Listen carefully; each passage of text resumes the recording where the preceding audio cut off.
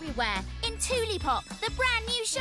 There's a whole new world to explore It's like magic. with four fantastic new friends Bubble, Gloomy, Fred, and Maddy.